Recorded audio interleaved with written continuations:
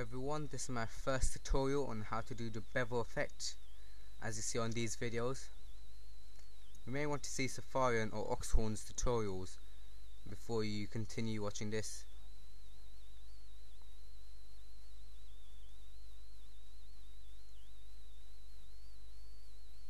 Mm.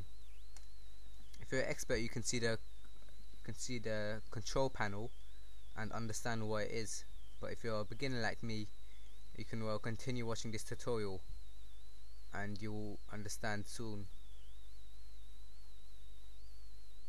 That's a preview of what what it looks like.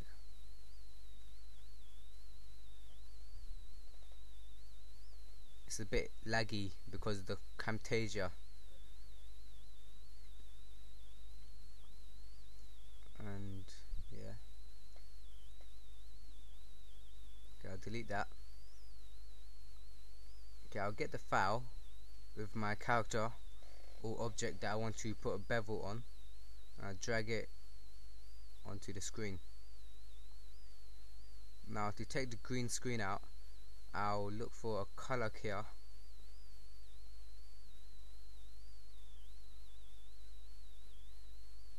the color here yeah. And drag it and drop it onto the screen. You can open the mini tab on the on the timeline. Or use the control panel and use the dropper to select the green background.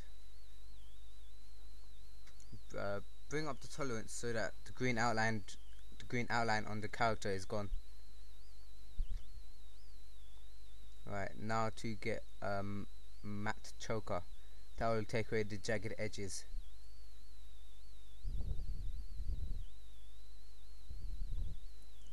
uh, I don't really fiddle with these effects because it's already okay on default.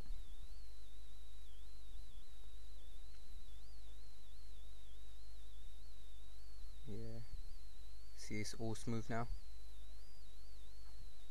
Okay now to bevel it. Choose the bevel alpha and drag and drop it. And by default it's already beveled. But I would bring up to about 4 or something like that. If we bring up a, lot you'll see what happens. That's not nice isn't it? Okay 4 is about enough. And you can change the light angle and and the intensity and all that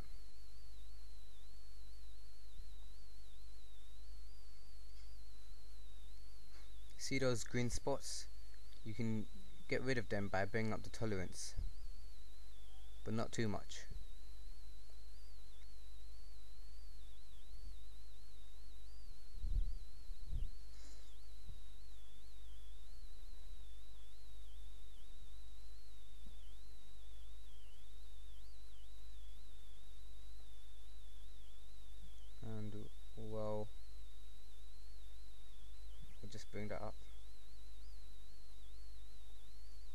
that's it. That's it then.